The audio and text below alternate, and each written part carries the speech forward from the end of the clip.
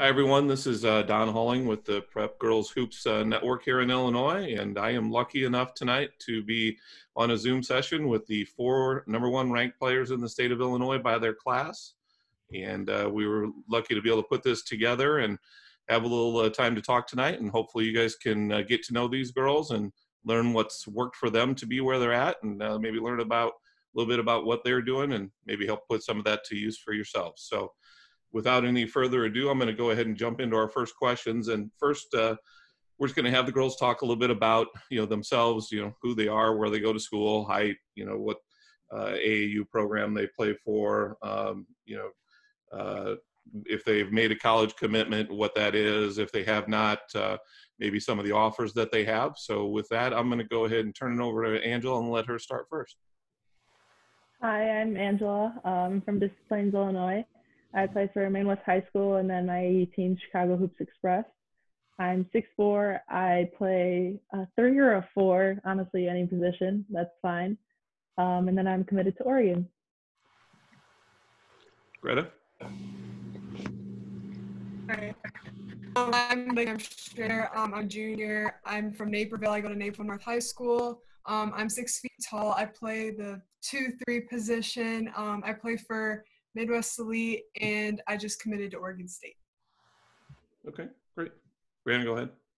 Hi, I'm Brianna McDaniel. I go to Kenwood Academy. I'm 5'10. I'm a point guard. I play one through four, mostly any position that you put me in. And I play for CHE, Chicago Hoops Express. And uh, offers? Um, I have 20 plus offers, and I'm just keeping my options open until it's time for me to commit. Okay, great. And Jordan? I'm Jordan Wood. I'm 6'4, and I typically play a three or four. So I'll play that for high school and college. And I attend Carmel Catholic High School in Mundelein. And for AU, I play for Midwest Elite. I currently have offers from Illinois, Iowa, and Purdue. Okay, awesome. Uh, from there, um, we'll jump into the second question, which is, I guess, a little bit more about your skill sets. Um, you know, what do you think is, something that you do very well? What what are some specifics on things that you're working on to try to improve your game right now? And uh, what are some of the things that you think both in your game and then possibly physically, as far as strength or those types of things that you need to improve to help take yourself to the next level? So, with that, we'll start with you, Jordan. Let you flip back around. Okay, something I do best is adapting to whatever position my coach wants me to play in, whether it's like either a wing or a post, and depends on that moment in time and like who we're playing against.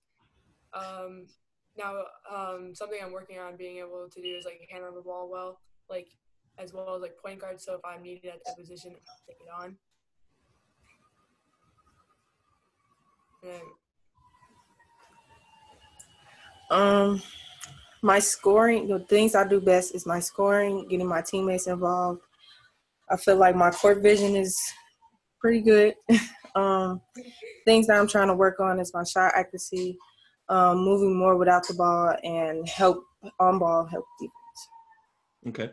Anything is, uh, and Jordan, I kind of missed the end of yours, so if, um, if I didn't catch it, you can maybe jump back in too. But for both of you girls, is there uh, what about from like a physical standpoint? Uh, you know, you're looking to try to get stronger, quicker, anything like that. Jordan, I'll throw it back to you. I just said physically, I need to pack on some more pounds so like I can get bigger. Okay, and Brianna. um, I just need to get a little bit stronger, like my legs and my upper body more. Okay. Greta.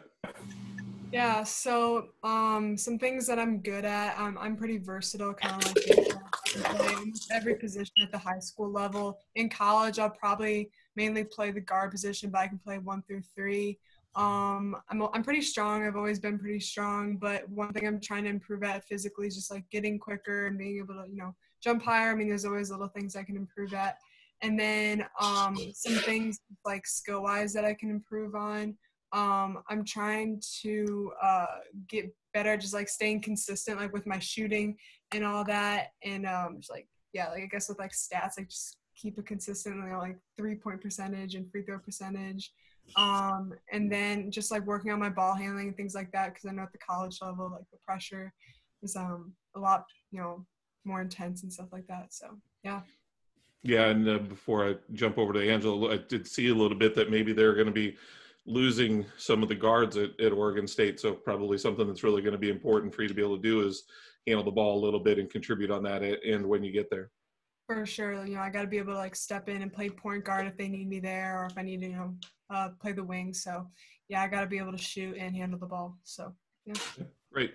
And one last thing before I move on to Angela, you know, obviously as I talked about me being down here, I don't get the thrill of watching you guys play much, but I remember seeing you at the top 250 last fall. Greta, it looked like you're pretty comfortable if you do need to get down into the post. If you got a smaller defender on you, seemed like you operated fairly well down there.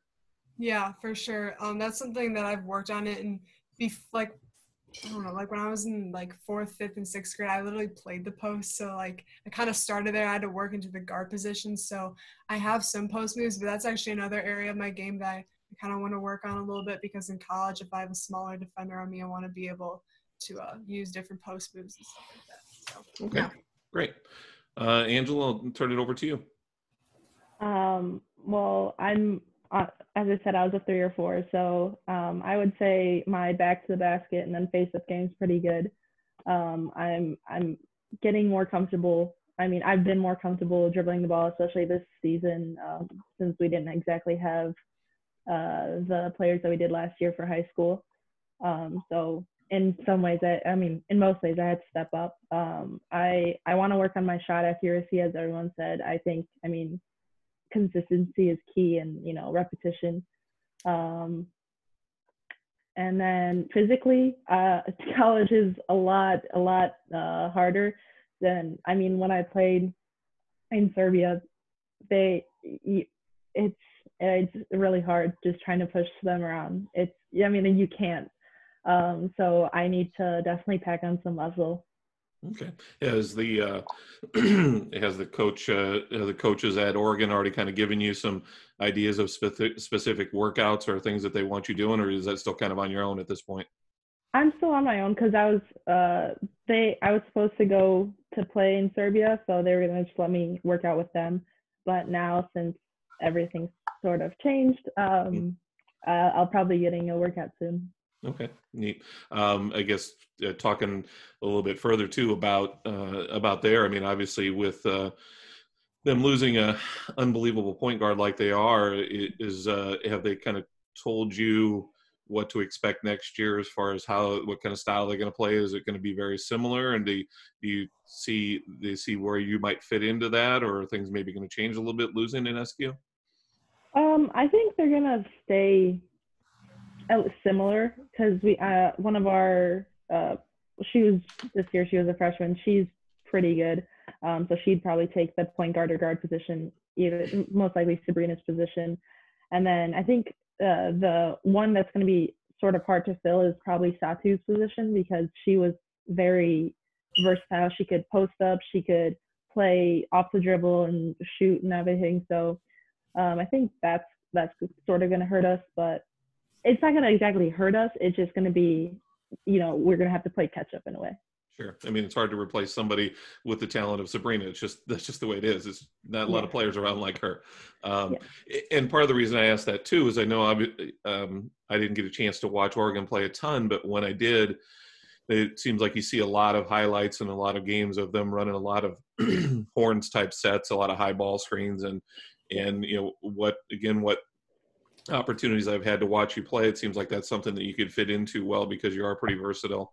Um, you know, looks like you could you know pick and pop and pick and roll and maybe have some success in in that uh, similar type system.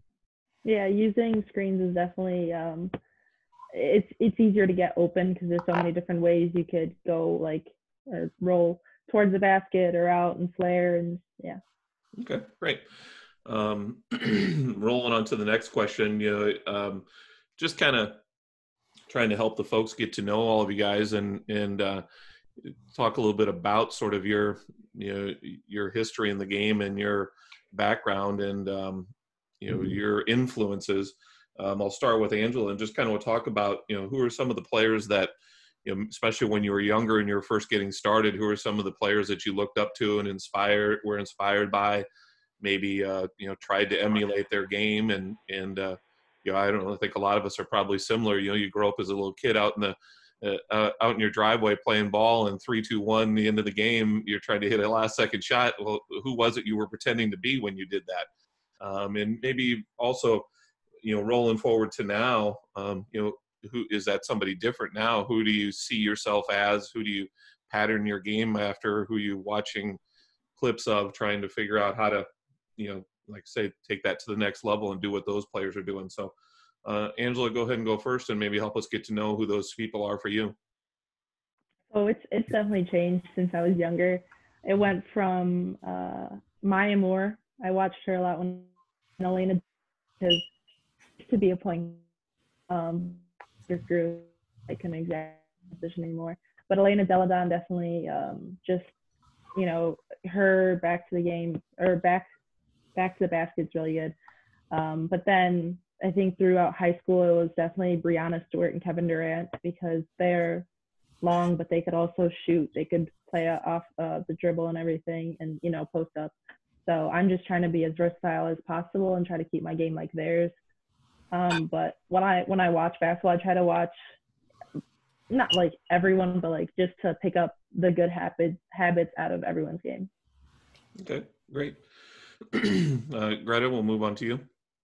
Um, yeah, so some people I looked up to, um, a few of them are actually pretty similar. When I was younger, I looked up to Kevin Durant and Maya Moore and Elena Delle Donne too. Um, yeah, like Angela said, like Elena Delle Donne, like she's she can play with her back to the basket and she can shoot and you know drive and everything. So I always and she used to play for the Chicago Sky, so I was a huge fan. Um, so I used to yeah like watch her a lot. And then Kevin Durant's a very similar player.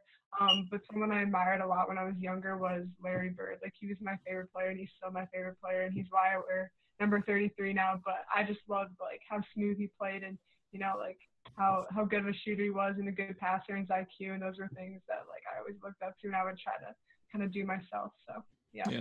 Well, that's kind of a neat one too, because uh, you know, for those of us that are, uh, it's kind of neat, I guess. First of all, for someone that's quite a bit older, to to know that someone that's quite a bit younger yeah. uh, paid attention to him, and then it's, I think it's also a player like that is uh, kind of neat for you know all kinds of kids to pay attention to because he certainly proved that it, you know, obviously he was tall, but he wasn't that athletic, and it proved that you don't have to be the greatest, greatest athlete on the on the floor. It certainly helps if you are, but you don't have to be, and you can still be a pretty darn good player. Right, for sure. Yeah. Yeah. Um, you the other thing again for a lot of people that don't know him that that's you know I think is a in it's that's a lot for similar for some of the players other players that both you and Angela mentioned you know the players that do more than one thing. You know, and you don't have to. It's always nice to score points, but every team needs people that can do a little bit of everything, just like all of you girls have talked about your versatility. So that's pretty cool. Um, Brianna, we'll move on to you. What? Uh, who are some of those players for uh, people for you? Um, when I was starting to come up, um, I really like Derrick Rose and Candace Parker. Um, Derrick Rose, he know how to create his um, his shot off the dribble and know how to break down his defender. And Candace Parker, she know how to move from the post on on out to the perimeter, and I just love that about her game. And now, um, Derrick Rose is still the same, and I like Diamond DeShields because she knows how to do everything. Okay, those are great, um, and uh, nice to have some hometown folks there too that you can kind of you know, follow, and it's a little bit easier. I mean, we talked about uh, Delle Donne playing with Chicago Sky, but also nice to have players right there from Chicago because it just makes it even that much more realistic to say, hey, I can be that person because they're coming right from the same place I am. Yeah. So that's kind of neat. Okay. Uh, Jordan, we'll move on to you. How about uh, yourself? Who are some of those players for you? when I was younger, it was definitely Brittney Griner because she was very tall and built like like like welly, and she like I when I was little I used to play like the post, and then as I started moving up, it definitely became like Jayson Tatum and like Kevin Durant because they were still tall and like lanky, and they knew how to get around people with like still really like, ball at the same time like creating space. So already went in. Yeah, and I would, you know, I would think. Um, I guess it's probably uh, maybe even somewhat for Bri- for Brianna, but even uh, especially probably for Angela and Jordan, and maybe even Red and Brianna. You know, the as a kid growing up, when you're when you're taller, a lot of people want to see you in the post, but you know, you it's great to um, have those role models that you like Jordan said that you know they're they're taller just like what she was when she was younger and you're able to watch those those players and say hey you know they're tall too but they're out on the wing playing small forward. They're not stuck in the post. Um, I guess I'll kind of just throw that little piece back to you Jordan then work around to some of the others too. I mean how is that something that you really kind of noticed when you were young that they kind of want to put you in the post but you kind of saw what other people are doing say hold hold it. This is who i want to be. I don't want to be just this post player it was kind of just like oh here you stay in the post you be like this fifth man just kind of play around like that then i'd always see these girls like oh taking these three pointers i was like oh i want to do that too so i kind of just like worked really hard like looked at different coaches to help me out with it and now i'm a three four yep Angela, I'll throw it back to you real quick on that. Is that kind of what you experienced too when you were younger? Yeah, definitely uh, staying inside, uh, especially during AAU in the beginning. Um, so many times I've gotten not yelled at, but like just criticized that like you know I should start inside and go out. Um, and, and I, I mean, I agree. I should start inside more and go out, but sometimes I don't know. Just, just go straight to the three point line and look for an open shot or somehow to drive. Um, usually just depends on my defender though. You know, depends what their size is. If they're bigger, I'm gonna start outside and go in or, you know, pull up. And if they're smaller, I'm just gonna go into the post. Sure. Yeah. And Greta and Brianna, I don't know, you know, obviously how quickly you guys grew when you were younger, because that's usually what it comes down to. Eh, Jordan and, and Angela are both still very tall, but you know, a lot of kids when they're younger, were you guys were you guys bigger when you were younger and kind of get in that same situation, or did you guys play guards when you were younger? I'll start with you, Greta. What what was your situation growing up? Yeah, I mean, I started playing in second grade, and like literally since ever since I was like, super young, I've always been the tallest by quite a bit. I mean, now like when you compare me to other really good basketball players, I mean, I'm just like an average height. But um, yeah, I started as the five, like playing club basketball in fourth, fifth, sixth grade. I was the five, and then eventually I started training with some coaches, and they were like, you know, like once you get to high school and college, you're going to be a small post player. So you're going to have to learn some ball skills. And I remember I started doing training with this one guy and, or I guess M14. So it's a whole, you know, academy. I started doing training with M14 and I started doing, you know, uh, ball handling and all that. And I started at a pretty young age, like middle school, sixth grade. So I was able to pick up on that. But yeah, I was forced to go in the post at a young age too. But luckily I had coaches that noticed that, you know, I'm built as a guard for you know the high school college level so yeah okay great and brianna how about you um mostly i was handling the ball but when someone was smaller than me i was just going to post like my parents had helped me yeah. do stuff in the post because my mom and dad was post players when they were um, playing. So they helped me with some post moves. But mostly i was handling the ball. But when i seen someone smaller than me i'd go to post.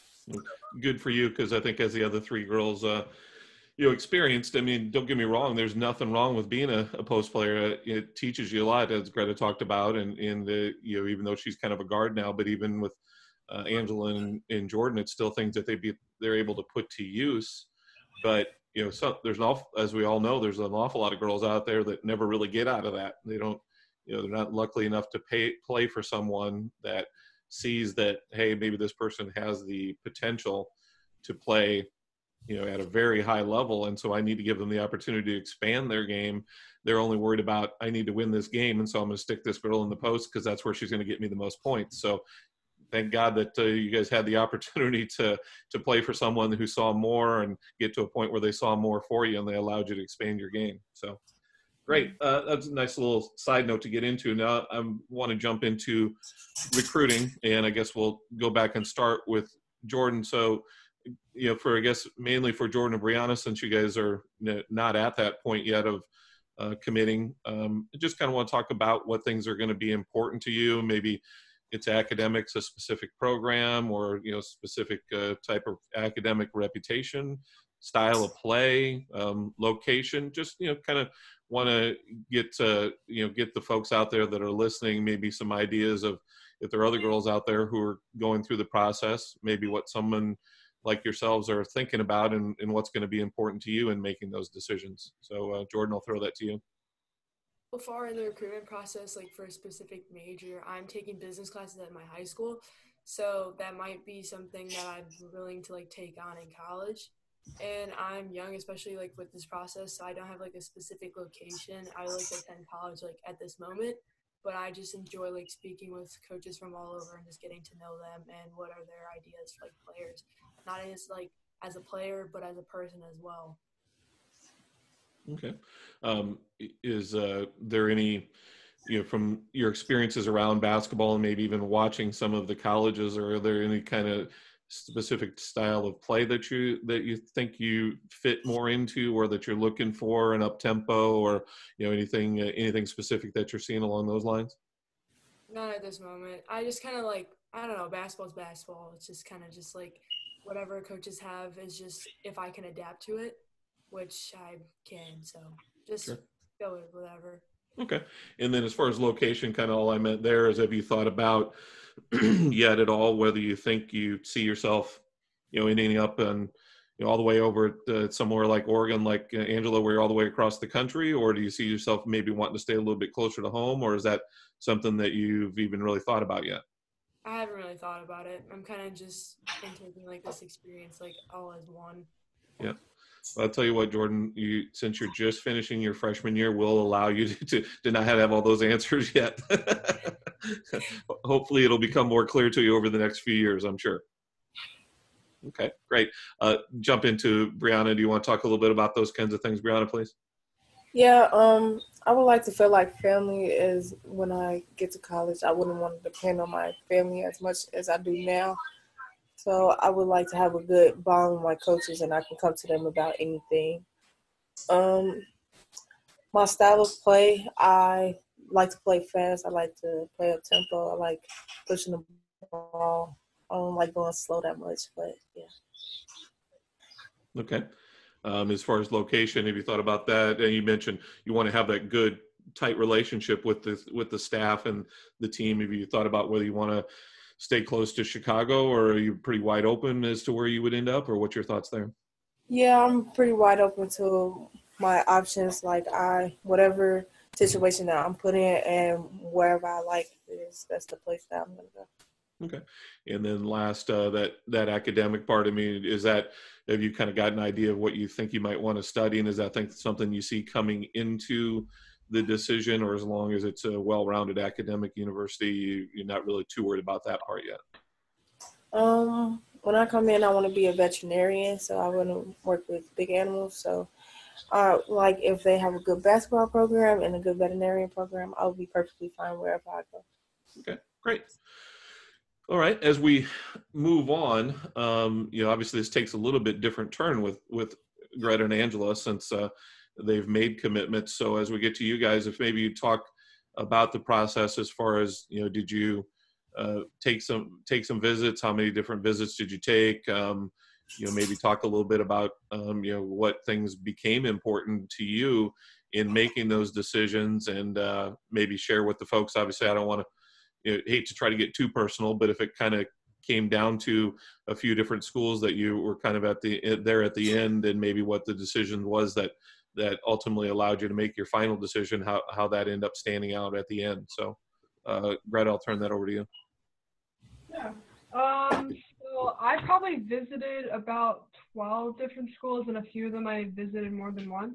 Um, and so my top three schools, I'll I visited all three. Um, and so I would say the I had I mean I had like a checklist of like you know what I wanted from a, in a school, and you know, just some schools I was able to you know eliminate right away. Um, even if they were great, you know, academic schools or they had that big name and all that, I was I still eliminated those schools because I knew they weren't going to give me what I wanted. Um, and so some of the things that went into making my decision was obviously with academics. I mean, I take my academics pretty seriously, and I already know that I kind of I think I'm thinking about going into engineering or product design, and so I was looking for schools that had um, majors or just programs um, somewhere in that area. I did a lot of research on that. If they didn't have that, normally it's kind of lost interest pretty quickly. Um, and then, yeah, like you said, like before, like style of play is pretty important to me. I think I, I watched a lot of college basketball just on TV and just like I feel like for me, I would always try to find players that I was similar to. And if I could find players that kind of played like me, I knew that those coaches knew how to set up players to be successful like that. So, um, for example, like Oregon State, um, Mikayla Pivec and Kat Tudor. I felt like my game is like very similar to theirs, so I feel pretty comfortable that they know how to like you know coach a player like me. Um, and then location wise, um, for me, I mean, I wasn't like I wasn't really planning on like going as far as I like can. Like I didn't tell my parents like, oh my god, like I just want to like, get out of here. But like at the same time, I was kind of telling my parents like, oh, I don't want to go to a school with like a bunch of Naperville people. So I kind of wanted to go somewhere interesting, and obviously Oregon's like a really cool state. There's a lot of different things, and it's different from Naperville. And so that just kind of that was pretty intriguing to me. So, yeah. Okay. And then again, as I said before, I don't want to pry too far. So you know, I guess tell me what you know, you answer in whatever way you feel comfortable. But um, I mean, were you kind of down to a, a, few different schools? And if so, if you don't mind sharing who some of those were that you kind of ultimately made the final decision from? Yeah, for sure. Um, so for me, my final three schools were Iowa, Stanford, and Oregon State. And uh, Stanford and Iowa, I mean, honestly, I feel like I could have gone to those schools and had a successful career and been happy. But um, I mean, it really came down to like just a few things. And honestly, with Oregon State, I feel like I could just thrive the most on and off the court, and I found I would have the most opportunity there. Um, like you, we said earlier, they're graduating a lot of guards, and so coming in, I know that I could possibly have a role um, as a freshman, whereas for example, at Stanford, they keep 15 people on their roster and they have a lot of guards right now and they have some guards coming in. So it could be more difficult. I mean, you never really know. The future's unpredictable. But um, yeah, so that, those are some main things. And just also something that was really important to me was like being a part of a family atmosphere and I felt like I just connected with the Oregon State coaches really well and I connected with the other coaches too but um, I knew that like going there like Brianna said like I could you know talk to them if I ever needed anything um, whether it's basketball or just life in general so yeah. Okay awesome. Thank you. Uh, Angela I'll turn it over to you. You want to talk a little bit about the your situation and getting to a decision of going to Oregon? Yeah so um, it was they started recruiting me in sophomore year, I think. Um, but my whole recruiting process, it was like Greta said, like the schools that offered, like some would offer right away, and I, I just knew I wasn't gonna go there.